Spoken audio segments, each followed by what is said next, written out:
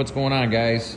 So we have officially cracked 1,000 hours on the old Kubota. Finally there. And uh, yeah, she's done a lot of freaking work, man. A lot of work on this channel. And um, believe it or not, I'm still using the same hydraulic oil and filter as when I started my channel. So I did the hydraulic oil and filter change right before I started my channel.